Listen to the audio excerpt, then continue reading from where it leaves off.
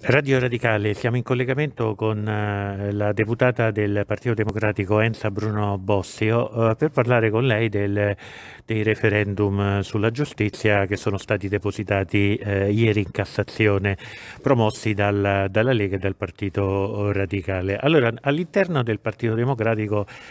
eh, si è sviluppato un dibattito molto interessante eh, sul quale insomma eh, è intervenuta anche lei. Allora, innanzitutto eh, le volevo chiedere che cosa pensa di questi referendum e soprattutto del fatto che il Partito Democratico mh,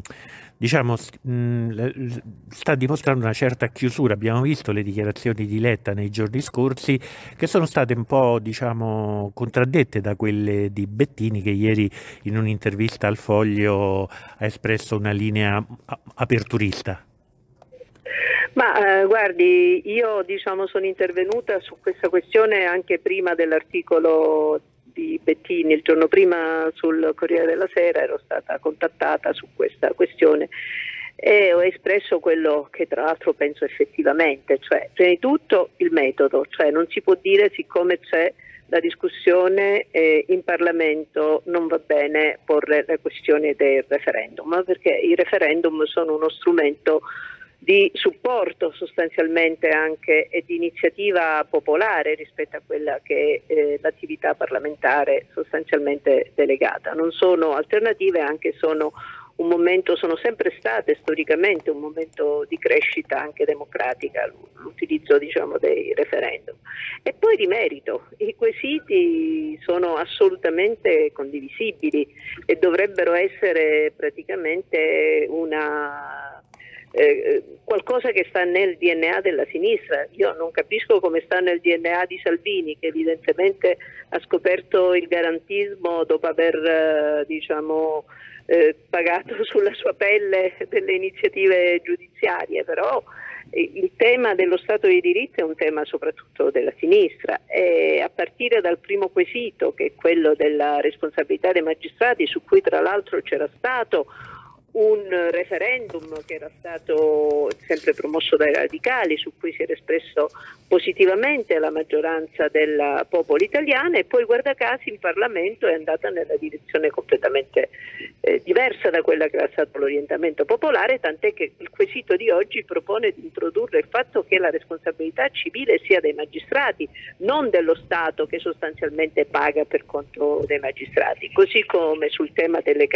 delle separazione delle carriere, che poi naturalmente produrrebbe anche eh, l'iniziativa di due eh, CSM. È un tema fondamentale. In questo momento noi assistiamo anche a trasmissioni televisive dove sostanzialmente il diritto della difesa non esiste più, esiste solo diciamo, le, le argomentazioni dell'accusa ma la difesa eh, viene utilizzata appunto anche a livello mediatico, scompare, oltre che c'è il rischio che scompaia, non dico a livello processuale, ma nel momento in cui c'è il tema sostanzialmente del rinvio a giudizio. E ancora di più sulla custodia cautelare, abbiamo le carceri piene sostanzialmente di eh, detenuti in attesa di giudizio, rispetto ai quali spesso diciamo, poi si eh, arriverà a una sentenza di assoluzione o in primo o in secondo grado, per non parlare della Severino che è sempre stata una legge secondo me assolutamente incostituzionale perché non puoi sostanzialmente interdire dai pubblici uffici o far decadere eh, dopo il primo grado eh, di giudizio. E così le altre due eh, quesiti sostanzialmente sulle modalità sia di elezione al CSM che sulla eh, ruolo che possono svolgere di diritto di voto sia degli avvocati che dei professori universitari. Consideriamo che in questo momento, lo ha denunciato il collega Enrico Costa, io lo condivido, abbiamo per esempio un ministero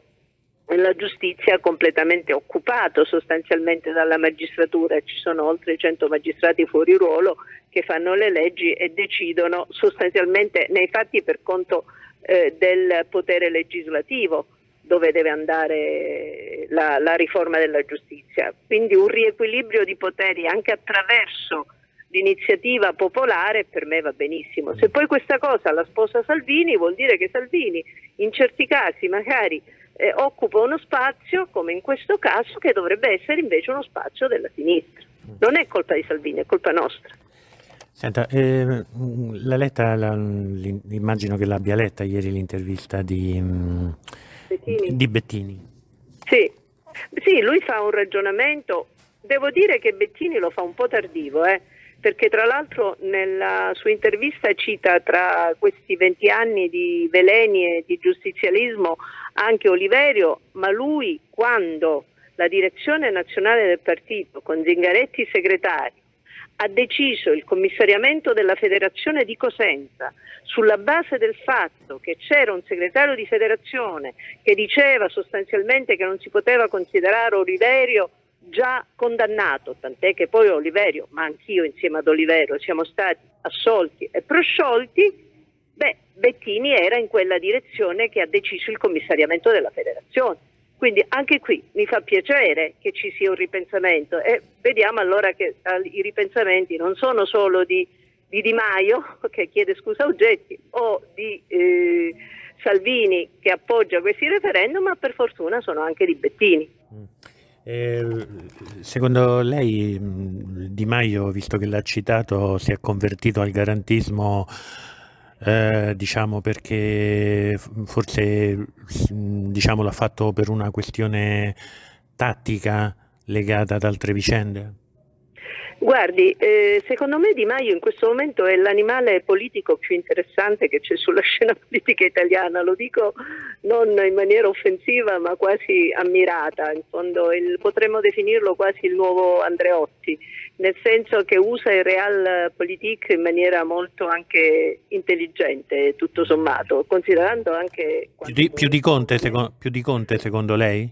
Secondo me sì, Secondo me sì, perché a differenza di Conte che è arrivato adesso a fare politica, insomma l'ha fatta attraverso sostanzialmente questa esperienza della Presidenza del Consiglio, che devo dire non è che capita tutti i giorni di poter diciamo, fare. E di Maio è cresciuto attraverso l'esperienza parlamentare di vicepresidente della Camera, di, di vari ministeri, di leader del movimento, insomma ha diciamo, articolato la sua esperienza politica e sta arrivando a un approdo, oserei dire, quasi riformista, che devo dire è un fatto comunque positivo, considerando che come Partito Democratico eh, vogliamo andare anche verso una prospettiva di alleanza con il Movimento 5 Stelle o quella che sarà la nuova creatura di Conte e di Di Maio nei fatti.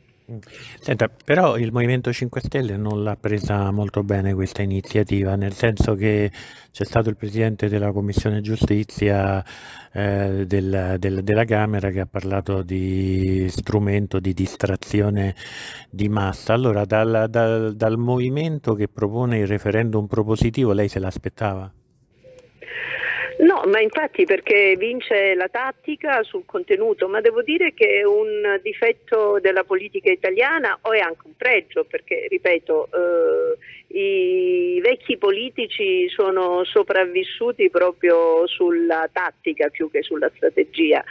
Io spererei soprattutto dal mio partito che la tattica fosse meno importante della strategia, questo è il tema. Noi su alcuni contenuti dobbiamo essere netti, a prescindere da chi, da chi li sposa sostanzialmente, perché noi abbiamo una storia, ripeto, in certi momenti che è anche diventata una storia buia per noi, eh, perché c'è stata una presenza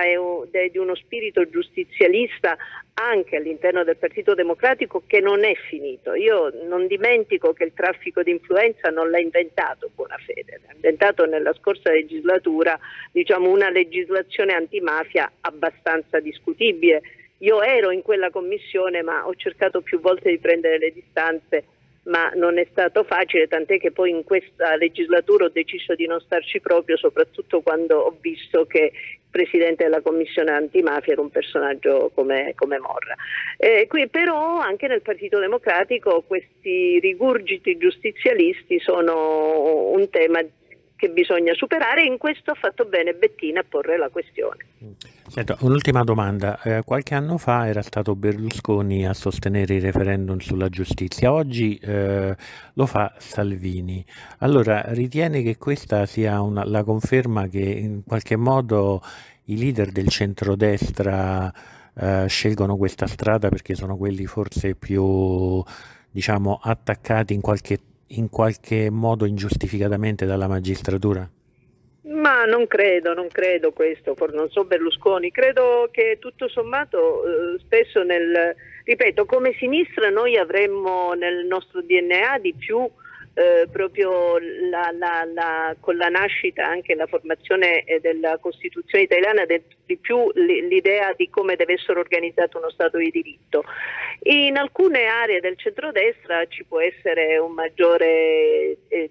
liberismo, liberalismo che comunque poi porta su alcune questioni ad avere una posizione più aperta. Ma ripeto, io penso che siamo in un momento, poi quando si dice finiscono le ideologie la destra e la sinistra, premesso che non finiscono perché soprattutto sul tema dell'inclusione sociale io credo che eh, anche qui la sinistra ha una storia che non potrà mai essere messa in discussione, però su alcune questioni legate sostanzialmente ai diritti civili credo che questa sia sostanzialmente un tema su cui si, può, si può ritrovare insieme sia la parte liberale che la parte diciamo, della sinistra.